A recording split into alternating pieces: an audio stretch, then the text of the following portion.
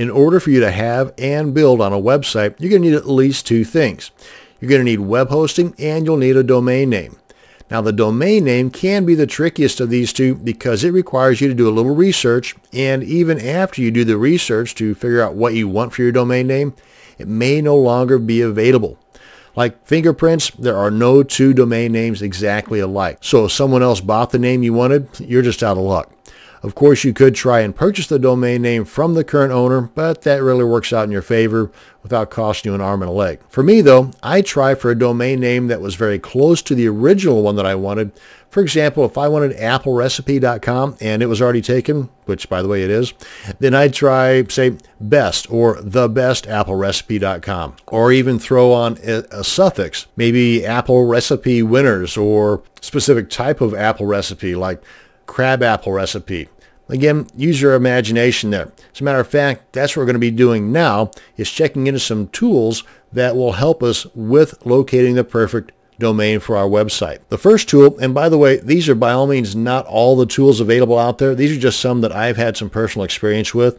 And something else too, even though some of these tools may offer the option of purchasing the domain name right there from their site, hold off on that. I've got some additional tools for you later on in this video for purchasing the domain names. But the first one is psychicwhois.com. Just type in the name that you're wanting and as you're typing, it will give you some suggestions as well as when you're done typing, it'll tell you if the one you wanted is already taken or not. For example, Apple Recipe, as you can see here, the red guys, you got it. That means they're already gone. AppleRecipe.com, .net, .org, and .us are already taken. But you've got some additional options here that Psychic Who Is tells you is or is not already available. And by the way, unless you think otherwise, I would suggest sticking with just the .com for your domain names because that's the most popular right now anyway. And they're looking at adding additional extensions as time rolls on. So there's going to be some pretty funky ones out there like dot .money and there's a lot more that are in the works. So for the time being though, .com is the most popular and that's one that I would be looking for. So that's Psychic Who Is, and you'll find that a lot of these tools are pretty much the same. Now, Bust a Name is a little more extensive. You can put in some keywords here and it will do a lot of the research for you. And without spending a whole lot of time on this site, I'm just going to point you over to their video tutorials. And I would definitely check out Bust a Name, bookmark it, and use it. A cool tool is domainsbot.com. Like with Psychic Who Is, you just type in the name here and it'll start spitting out some suggestions.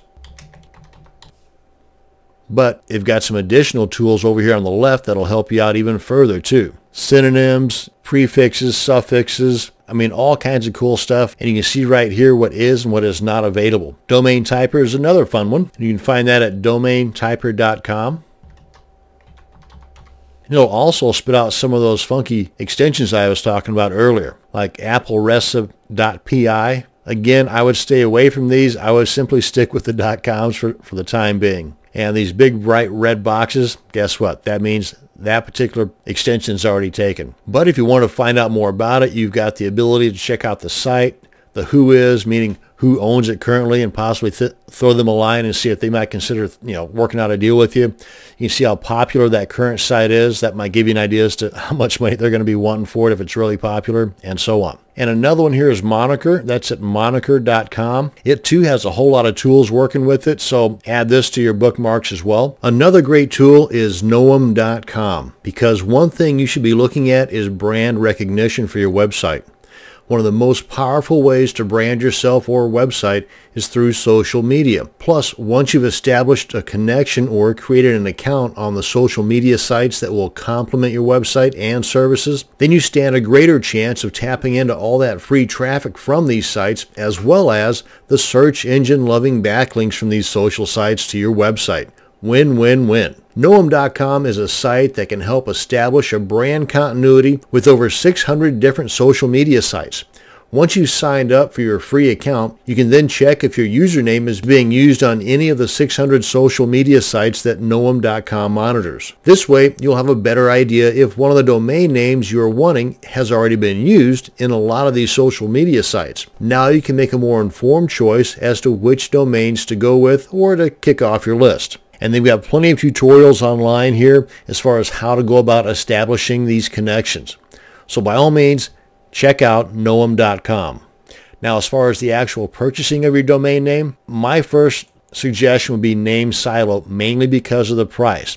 It's not feature rich, but it is definitely fantastic as far as the price. It's one of the best ones you're going to find out there. There's no hidden fees and it's $8.99 a year and that's it. You can even get some discounts on there as well. But if you, for example, were to purchase your domain name from GoDaddy whenever they've got one of their sales going on and you can get a, a .com, because again, you really only want to look for .coms. There may be reasons for you to look for other extensions, but I'm suggesting .com. But if you get a .com for say 99 cents for the first year, go ahead and purchase it through GoDaddy or you know whatever, and then after say 60 days or so, go ahead and transfer it over to a namesilo.com. And that way you're just getting an additional year added on to the year that GoDaddy gave you for whatever cost this is. And I, at the time of this recording, it's $8.99. So for $8.99 from NameSilo and the 99 cents you purchased it from, again, using this as an example, GoDaddy, you've now got two years paid for on your domain name, and it's now located at NameSilo. Again, it doesn't have a whole lot of features, but if features are what you're looking for and a great price, Namecheap is your company because Namecheap is great. Their prices just went up recently. It's a little over 10 bucks for a year, but they've also got some additional great services that NameSilo does not. For example, free SSL certificates for the first year. After that, they're really inexpensive too. But even then, you may want to hold off on buying a domain name until you check into web hosting because some web hosting companies will offer a free domain name if you purchase a package through them. But web hosting is a video for another day. For the time being though, this is going to bring us to an end on this video on domain names. Thanks for watching and you have a great day.